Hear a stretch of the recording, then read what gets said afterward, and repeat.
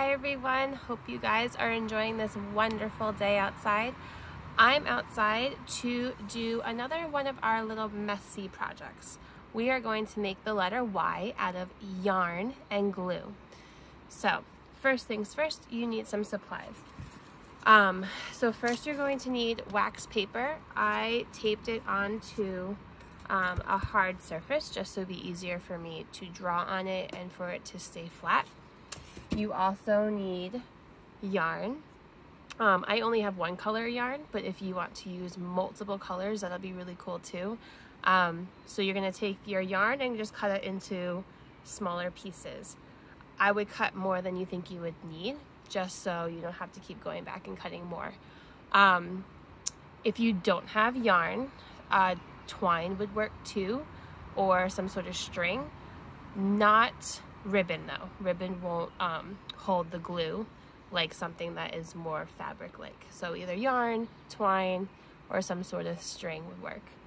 You also need a like shallow dish that you will put your glue into. Okay, so those are our supplies.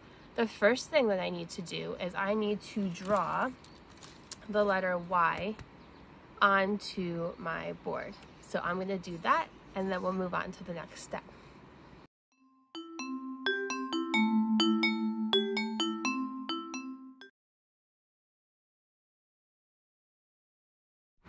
All right, now that I have my letter Y outline on my wax paper, I'm going to get my glue container ready. So I'm to take my shallow bowl I'm going to add some of my glue into it. So I'm going to start with a little bit. If I need more, I can always add more, but I don't really want to waste my glue. So I added just a little bit in there. Now that we have the glue ready, we use our string, and this is where the messy fun part starts.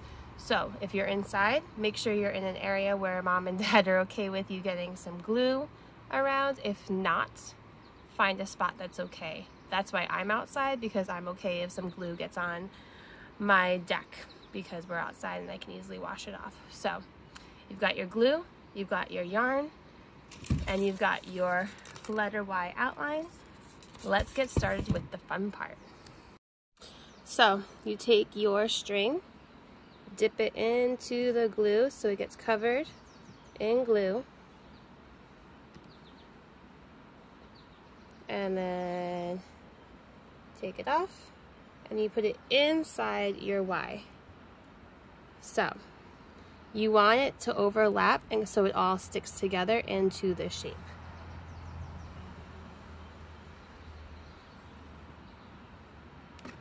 Mm -hmm. Let's get it covered in glue and then you put it into the shape so it all overlaps. I'll do one more with you guys before.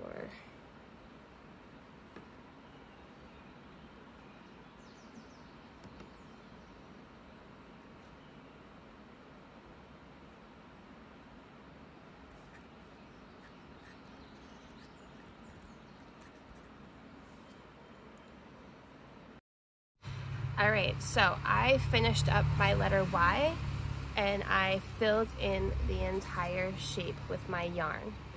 Um, you want to make sure that you get the yarn really wet with glue because it needs to stick really well to the other pieces of yarn. If you look, you can also see I really overlapped my yarn together because um, that will make sure that they all stick together and keep the shape. If it's too dry, or if they're not touching well enough, it won't work because it won't stick together and keep the shape of the letter Y. So you do want to make sure it's all touching, it's all really wet with glue. Um, and then when I was done, I kind of just went with like some glue on my finger and I pushed down on all the parts of it so that it was stuck together better. Um, just some hints for you for when you're doing yours. So I only did one letter. I did the letter Y.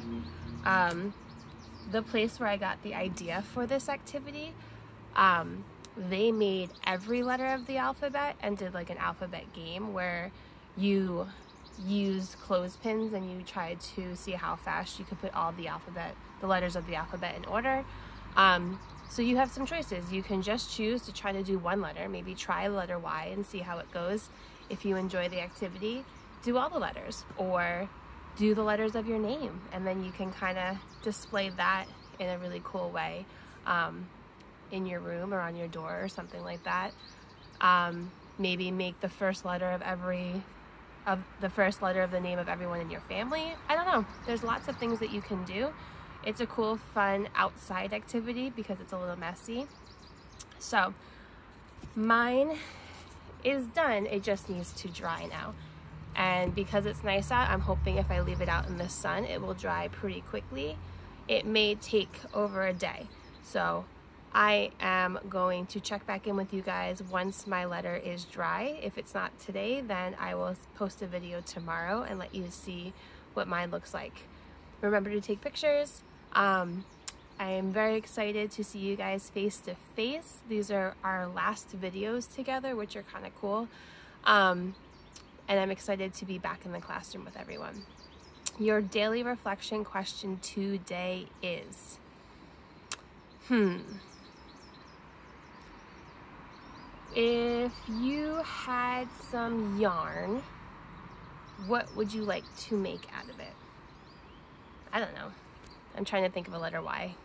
Daily reflection. Um, so if you had unlimited amounts of yarn, what would you make? Would you knit something? Maybe a big sweater or a scarf? Um, maybe you would like to like make a doll out of it or knit your own boat maybe you would make all the letters of the, the alphabet with it. Um, maybe a big sweater for your house. There's that book, what is it, with, um, with Penguin, Penguin in Love, when they knit, a sweater for a whale. So if you had yarn, as much yarn as you ever could possibly need, what would you make with it?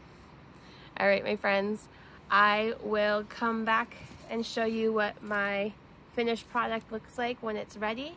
But until then, I hope you try it. I hope you enjoy these beautiful days we've been having. We've been very lucky with our spring days. And I will see you guys later. Bye.